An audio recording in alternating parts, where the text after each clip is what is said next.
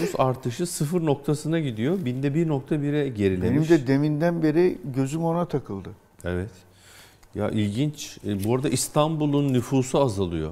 Evet. O dikkat çekici. Gidenler- 250 bin kişi İstanbul'dan gitmiş. Biraz depremin etkisi de olduğunu düşünüyorum ama Deprem bilmiyorum. korkusu var. Şey olmasın şimdi hani depreme bağlamış ol- olunca Gene olmayalım diyorsun. sıkıntı. Ekonomik Ama şartların da etkisi var. Ekonomik şartların kesinlikle etkisi var. O bir süredir oluyordu. Ama bence e, Kahramanmaraş depremi sonrasında insanların bir kısmı da e, bu nedenle e, yani bu Ayrıldı. deprem korkusuyla da ayrılanlar oldu.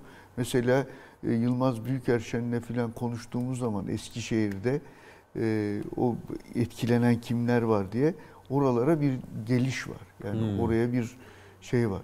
Sahil tarafına da var.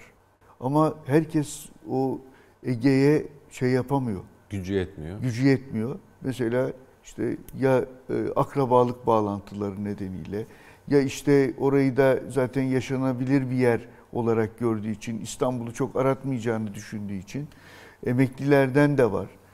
E, yani bir bir şey var ve ben o eğilimin de devam ettiğini düşünüyorum. Evet.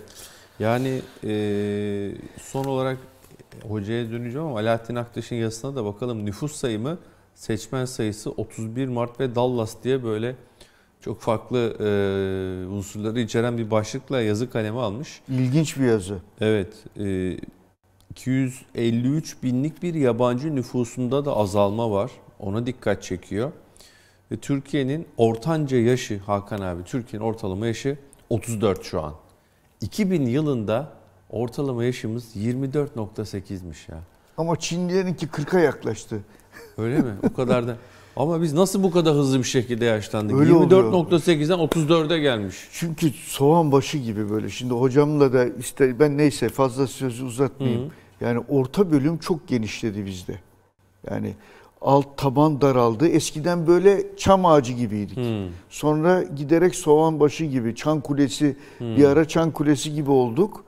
Orta ama şimdi iyice soğan gibi bir havadayız. Demografik şeklimiz öyle. Aşağısı da azaldı, e, yukarısı da biraz arttı.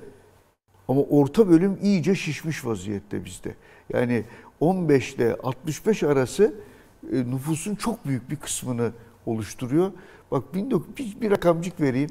1980'de Türkiye'de e, kadın başına düşen çocuk sayısı 4,5'tu.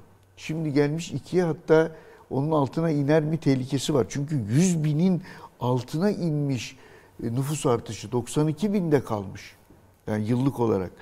E, Şimdi o 1980'de 45 44 milyon nüfusumuz vardı. 44 milyon nüfusun yani yaklaşık 20 milyon kişi 18 milyon çocuğa bakıyordu.